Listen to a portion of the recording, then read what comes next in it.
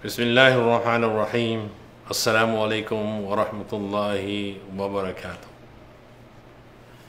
Ngayong ikadalawamput siyam ng Marso, atin gugunitain ang anibersaryo ng Bangsamoro Autonomous Region in Muslim Mindanao.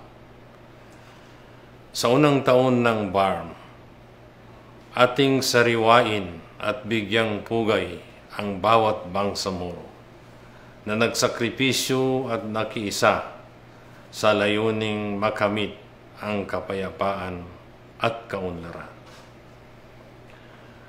Sa nakalipas na isang taon, ay unti-unti nating inukit ang isang bagong sistema ng pamamahala na tunay na maglalarawan sa mga pangarap at mitiin ng bawat bangsamoro. Today, we mark another important milestone in the history of the Bangsamoro peace process.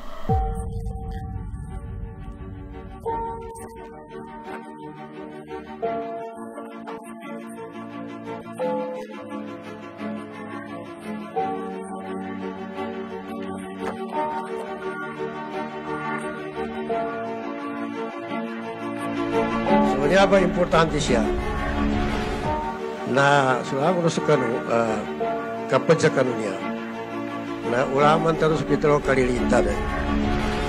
Kagina niya ba ilalan tanong sa, yan mana makuha tanong so, mas mapiapan sa ginawa tanong. Serious tanong sa niya kung galibog tanong niya. Kagina siya sa Islam, nandiyan ang pasaran, uh, pente magkampasaranan ka, tumang ka. Ito rin ang ating sama-samang pagtahak tungo sa isang rehiyon na yumayakap ng kapayapaan at kaunlaran sa gitna ng pagkakaiba ng lingwahe, tribo o paniniwala.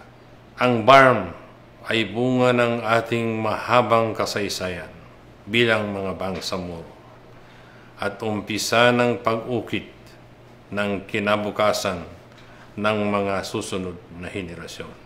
Marapat lamang na ating balikan at ipagdiwang ang lahat ng ating mga nakamit sa nakalipas na taon at gamitin ang mga ito bilang inspirasyon sa mga susunod pang buwan o taon. يا ديمة خير وعطاء ويمام نقاء وسخاء يا نجما شع فأبهجنا يا شعلة نور وضاء يا ديمة خير وعطاء ويمام Sobra po akong sa ating butihing minister ng Ministry of Basic Higher and Technical Education, Honorable Mohagir Iqbal, lalong-lalo na sa ating butihing Chief Minister, Honorable Ahud Balawag Ibrahim, dahil sa Bangsamoro Government, natupad na po ang matagal ko nang inaasam na ma-hired as a teacher. Sa kasawiyang palad, minabuti ng Bangsamoro Government na ikansila ang mga inihandang programa para sa unang taon ng BARM dahil sa paglaganap ng coronavirus disease 2019. At amin ring napagtanto na mas prioridad natin ang paglaban sa sakit na ito at matugunan ang pangangailangan ng ating mga kababayan sa panahong ito. Sa gunapan niya at tabang nakatinggo sa kami, kanulangon sa kami siya barangay, ha? Napagampagan niyo, napadsyukur kami sa Allah Ta'ala. Uh, tumundo ka padsyukuran namin na mana sa gobyerno Tanuaban sa Muro na taga-diadipan kamasukwanan na adnan to at tabang nga nakasampi siya sa kami. Alhamdulillah. katulong na ito kaysa ano, walang walang lalo na yung iba walang sahod dahil walang kinikita, dahil mga abal-abal. Sa ating mahal na ministro, maraming maraming salamat. Sana bigyan ka pa ng mahabang-mahabang buhay ng ating mahal na Allah. Salamat po. Ah, Auzubillahi minasyaitonirrajim. Bismillahirrahmanirrahim. Ah, alhamdulillah ka dumating po yung tulong ng BARM at nagpapasalamat po kami sa libo-libong pasasalamat dahil po sa biglaang bagsak ng tulong ng BARM. Salamat po. At dahil na rin sa kinakaharap nating crisis dahil sa COVID-19, aming pong tinatawagan ang lahat na isantabi muna ang lahat ng pagkakaiba at magkaisa upang masugpo ang sakit na ito.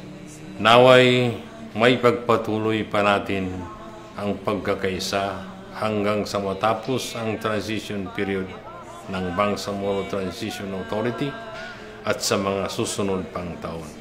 Totoo na malayo na tayo mula sa dating nakagisnan na kaguluhan. Ngunit totoo rin na marami pa tayong kailangan gawin upang mas mapatatag ang ating Bangsamoro government at mapalaganap ang mensahe ng moral governance. Kami po'y umaasa na makakasama namin kayo sa landas na ito. Maraming salamat at wassalamu alaikum warahmatullahi wabarakatuh.